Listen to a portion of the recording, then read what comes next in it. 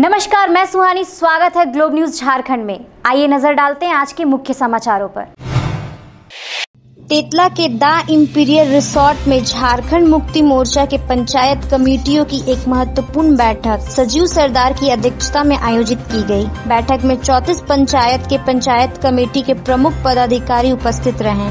बैठक में पोटका विधायक संजीव सरदार ने कहा कि अब झारखंड में कोरोना का दूसरा स्टेज चल रहा है। कोरोना से जनता कैसे बचे और जागरूक कैसे किया जाए, इस पर विचार मंथन किया। यही पूरा विश्व में देश में और हमारे राज्य में कोविड 19 कोरोना बीमारी को लेके पुनः हमारा क्षेत्र में पार पसारा है। उसके लेके हम लोग आज हमारे संगठन के मुख्य रूप से नेता लोग के साथ यही विचार विमर्श किए।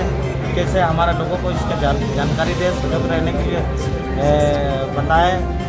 इसके लिए आज हम लोग उसका जानकारी दिया गया और साथ साथ वर्तमान जो पेयजल को लेके जो समस्या उत्पन्न हो रहा गाँव घर में चपाकल खराब पड़े हैं उसको कैसे जल्द से जल्द मरम्मत कर मरम्मति करवा पाएँ? कुआली थाना क्षेत्र के रसुन चौपा पुलिस के समीप रायरंगपुर के दो व्यापारी प्रताप बेहरा एवं मुख्तार से फायरिंग के कर बंदूक की नोक पर एक लाख सत्तर हज़ार की लूट शनिवार की सुबह आठ से नौ के बीच में की गई। पुलिस द्वारा तीन टीम का गठन कर विभिन्न जगह पर छापेमारी की गई। छापेमारी के दौरान घटना में शामिल आठ अपराधियों में से दो अपराधियों को गिरफ़्तार करने की सफलता हासिल की, जिसमें खरसावा के रमेश महाली एवं सुंदरनगर थाना क्षेत्र के विधाता तंतुबाई शामिल है।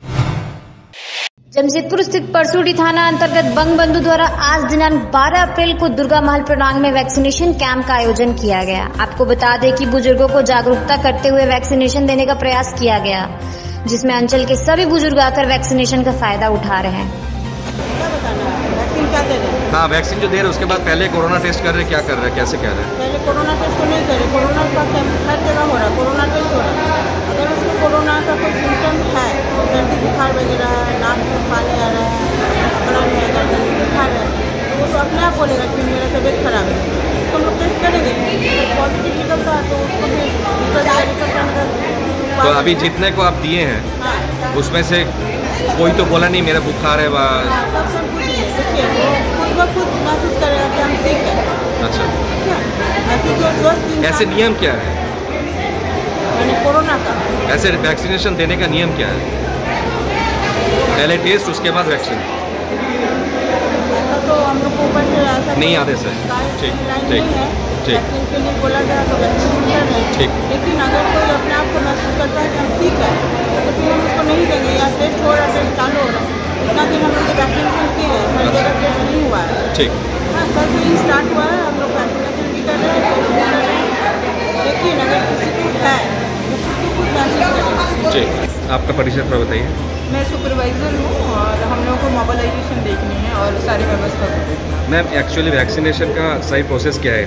पहले कोरोना टेस्ट होगा या वैक्सीन होगा क्या तक ऐसा कोई आदेश नहीं था लेकिन हम यहीं पर देख पा रहे हैं कि मतलब पहले टेस्ट कर रहे हैं उसके बाद ये तो क्राउड दिख रहा है तो वो वैसा नहीं होता है क्राउड ऐसा कोई सिस्टम नहीं है कि पहले कोरोना टेस्ट हो उसके बाद वैक्सीन मेडिकल डिपार्टमेंट से अगर ए को आदेश दिया गया होगा तो दिया गया होगा। हम मोबालाइजेशन में ऐसा कुछ हम लोगों को अच्छा अच्छा मैम अगर कोई कोरोना संक्रमित निकले उसे क्या वैक्सीन दिया जाएगा?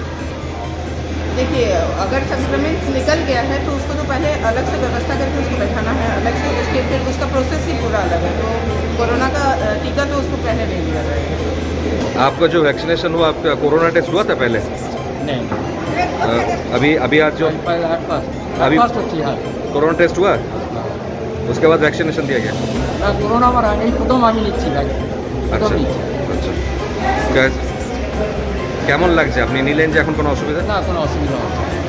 क्या नियम है इस वैक्सीनेशन देने का? उसके कोरोना टेस्ट उसके बाद वैक्सीन दिया जाएगा। कुआली थाना अंतर्गत हल्दी पोखर में एक नाबालिग लड़की को एक युवक के द्वारा भगा ले जाने के मामले में लड़की के पिता ने कुआली थाना में अपहरण का मामला दर्ज कराया। शुक्ला के रूपी नाम का लड़का मेरे बेटी को लेके अ, इसको लेके भगा दिया भाग गया है। अच्छा। नाबालिग लड़का ही है मेरा अच्छा। और उसका हम लोग खोज रहे थे तो थाना में भी हम लोग किए थे मतलब उसका दिए थे इस बार दर्ज किए थे अच्छा। ना? उसके बाद आज मिला आ- आज आज मिला आज मिला है पहले थाना पर थाना प्रभारी उसको लेके थाना में लेके आया है। क्या चाह रहे हैं आप? क्या चाह रहे हैं? हम चाह रहे हैं उसका कानून कार्रवाई सजा उसको होना चाहिए मेरे बेटी। ये उसका जो गोपी नाम का लड़का है उसको सजा मिलना चाहिए। अच्छा थाना में मामला दर्ज कराए थे आप क्या? हाँ कराए थे।